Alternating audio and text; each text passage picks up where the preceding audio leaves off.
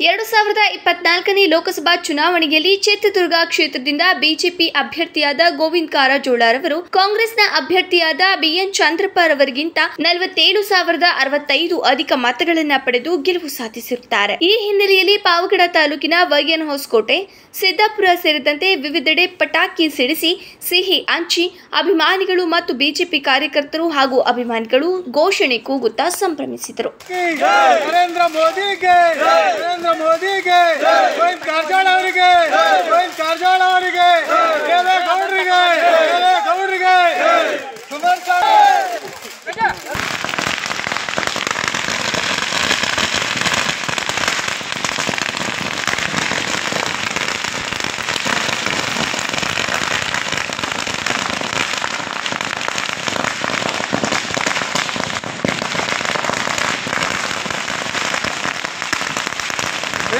Chegou!